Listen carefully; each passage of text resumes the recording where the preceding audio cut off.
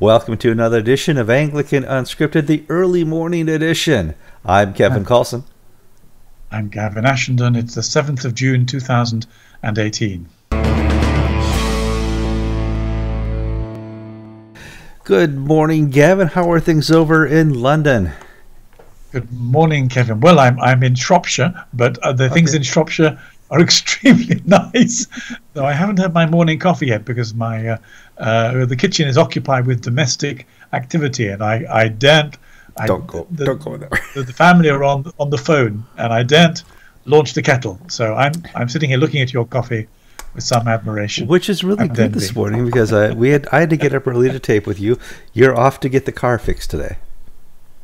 Oh yes, um, it's it's it's it's one of those disasters. Um, uh, we we try we're building a greenhouse. We try to put a a piece of pipe into the car, and the the back of the car pressed it against the windscreen, and the even there's a plastic pipe, and the windscreen shattered from the inside.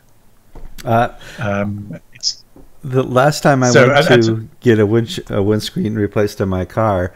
Uh, I had a person working on my roof, and he dropped his uh, uh, power drill and just slid all the way down and cracked my windscreen. I go in to the shop and there's another car next to mine that had two big rubber boots through the windscreen that were you know, the person wasn't in them, but you could tell he had slid off the roof and landed in his car. you just, I well, like the stories these guys must uh, listen to at the windscreen repair shop. But, but, Ours is more complicated because we have something called the MOT, which is a, an annual check on your car, ah. and if you don't pass it, you can't drive it. And as it so happens, the annual MOT check is the, is tomorrow.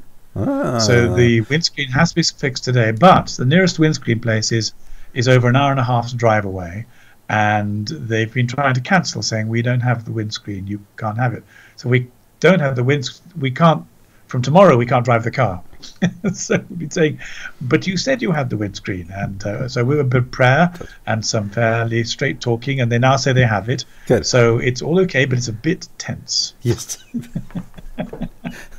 well, there's tension now in the church, and I thought this is a great time for a transition. Um, we all remember the early days of Pope Francis. Uh, he would travel to a, a, new nation in his little plane, and he'd give a press conference uh, to the press in the back of his plane and the the whole time, at least the next week, week and a half, the uh, Roman uh, people who defend him, he said, well, he didn't really mean that. He didn't say that. That's not what he meant. Of course, homosexuality, uh, you know, is a, is a sin, whatever he had said. And we also have a little bit of that in Archbishop Justin Welby. Uh, he recently uh, was traveling outside the country and he gave a little talk. And his offhand remarks were that um, the European Union is the greatest thing, not since sliced bread, but since the Western uh, Roman Empire. Now, okay, ex- except Kevin, yeah. they weren't offhand remarks. They're in the script. They're in the script. as the second paragraph to the end. Well, at the culmination I, of the speech. I heard a rumor now that he's denying that, but we'll, we'll get to that in in, in a second. Um, you went to school. You know the history of the Western Roman Church. It was a bit chaotic. Uh, Western Roman uh, Empire. It was a bit chaotic. Well, if I was defending, let me try and defend Justin okay, for a moment, Be- because we should speak the truth in love, and uh, I think I understand what he was trying to do. What I'm surprised at is that it was done so unwell. so here, here he is speaking to a very wide group of European churches at a, at a, a European synod. Uh, and clearly he wants to say positive things about Europe. Uh, and he says some he, he he he mixes in his in his address a number of things, some of which are lovely and Christian and wholesome, all the virtues of the Holy Spirit, uh, trust, humility, kindness, love, of course. Mm-hmm. But he slips in one or two one he slips in two difficult things. And the reason they matter is because they become the way of mixing politics and faith. Now, if I have a bishop stand up and he wants to preach to me about what Jesus said and what St. Paul said and what the Holy Spirit says, this is fine. This is the work of a bishop. If I have a bishop or an archbishop stand up and says, I want you to support the government because the government's political policies uh, are, are, very close to the heart of Jesus, then he better be right, or else, or, or else he's doing several problematic things. One is he's not telling the truth, and the other thing is he's dividing the church. Now, what Justin Welby did was was the latter, effectively, because he said this: the EU has been the greatest dream realized for human beings since the fall of the Western Roman Empire. It has brought peace, prosperity, compassion for the poor and the weak, purpose for, uh, for the aspirational, and help for all its people. Now the problem is that that uh, we're in a in, in, in the UK we're in a very difficult moment as we are preparing to leave the European Union, and the country is completely divided. It's not just divided; it's deaf. One side can't hear the other, and they get very angry with each other. Uh, and at this point, the Archbishop chooses to make a remark about the EU that has two aspects to it. One is it's factually completely incorrect, and the other is it becomes a matter of considerable division, because in speaking like this, uh, he doesn't stop being the Archbishop of Canterbury just because he's in Serbia. Brexit doesn't stop happening because he's meeting a, a, a Council of European Churches. And so, of course, the, the papers in this country um, erupted in, in concern, uh, effectively saying you've made a serious misjudgment of history and you've misused your office. Why would you do this? Now, there's a there's another problem which we'll come to later on, and that is that um, a friend of mine sent me a, a piece of paper, paper this morning saying from a, a house church leader Maybe I won't give his name because I've written to him asking. Yeah, don't don't give his name yet. I've written to him asking him uh, if what he said is true, mm. and he hasn't got back to me yet. But but he he he says this. We were invited. We, we Justin Welby supporters were invited to Lambeth Palace last night. Warm sunshine, manicured gardens, plenty of good food and drink. An excellent talk from Bishop Justin on his three main priorities. Oh, and they're good ones, Kevin: prayer, reconciliation, and evangelism. Perfect. Great global sto- yeah. great global stories of, of this work. He talked of church planting, face to face, sensitive but purposeful evangelism. This is wonderful. Uh, he stopped and we said, "Oh, look, we have." And then the author himself here. Um, so the author's pleased about that. Um, and then, and then uh, he explained that he never said, reported in the press today, that the European Union is the greatest dream realized for human beings since the fall of the Western Empire. He explained what he said that what he said to hundreds of church leaders was we should be grateful that the EU has been a major factor in keeping Europe free from war and national conflict. Now the thing is, if he'd never said it, Kevin, his press office would be all over those who wrote about it saying, You've misquoted him. Yeah. So we have a problem here. The press office haven't said he's never said it, but here we have a very well liked, well respected, well loved leader saying that Justin Welby said he never said it. Now, I, I don't know what to make of that. I, I don't either. And hopefully today Lambeth uh, Press will, you know, certainly clear this up for us. Um, because if you look at the whole of it, the Western Roman Empire was a mess. The European Union is, in many ways, like that.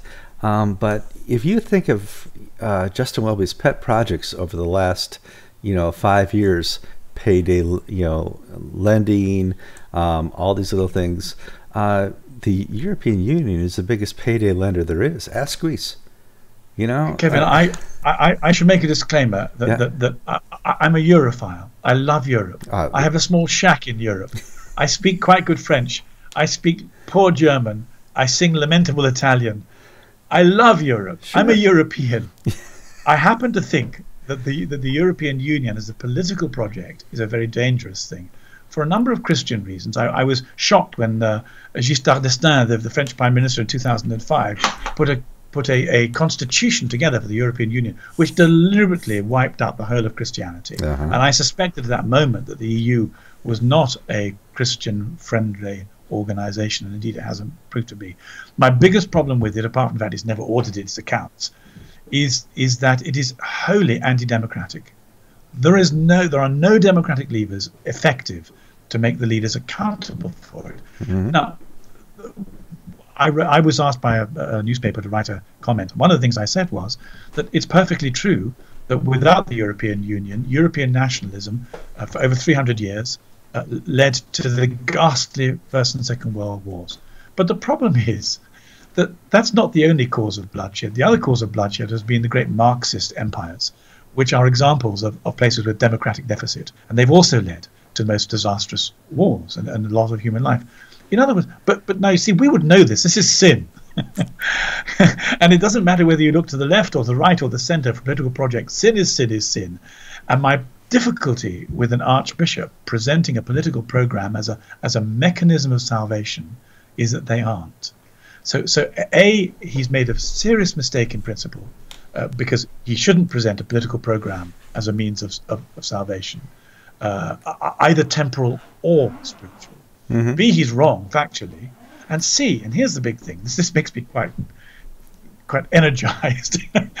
uh, his whole he, he has he has sold himself to us as an agent of reconciliation. How can he? What what he's just done is to divide the country again into pro and anti-Brexit by making these remarks in the public space. So this was this was I guess this was carelessness. To defend him as I wanted to do in the beginning, I can see I can see that by going into a European forum You'd want to say some pro European things, but you'd have to be very careful about how you did it, and he doesn't seem to be very careful. I do remember some of the discussions uh, in the, the, House of Bishops uh, before where he was a bully. He said, vote my way, basically, with women's uh, bishops and other things. Um, if you don't vote the way I vote, you're doing it wrong. And, you know, just remembering some of these, I'm, I'm kind of seeing this come out in his European U- Union discussions? Um, he ha- he ha- I don't want to be personal. He hasn't mm-hmm. bullied me. Uh, I, I have seen him treat people badly, but then I dare say people have seen me treat people badly too on a bad day. Uh, but I think I have difficulties here with the issue of integrity. Mm. If he really has said to a group of people, "I didn't say this," when he did, uh, then then you know, that's enormously problematic. I have difficulty with with any archbishop, let alone one who stands for reconciliation, dividing the country politically when it's so very badly divided already. And as I've already said a number of times, I have difficulty with the fact that I think he's bought entirely into the zeitgeist over the whole sexual identity idea, which for me makes him uh, a really problematic Christian leader because uh, I see him as, as teaching bad theology and bad spirituality and now bad politics. Um, and you know, ah, what what can you do? Pray for him, I suppose. But but also but but also, and, and this is what I tried to do in my article: hold him accountable in a way that isn't mean. Because the moment we get mean, and, um, and, and you know, God forgive me if I'm mean. I'm trying hard not to be. I'm trying to restrain it.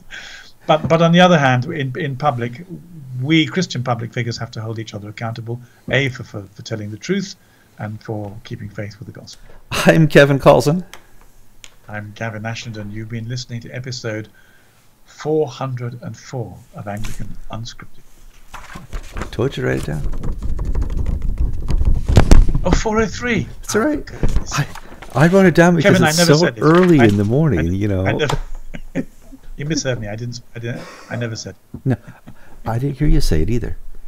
I'm here to defend you. Kevin, I apologize. I got it wrong. I made a stupid mistake. it was 403. 404 is coming later. That's right. Cheers, my friend. Get your car fixed, and I'll catch you later. God bless, Kevin. God bye bless. bye.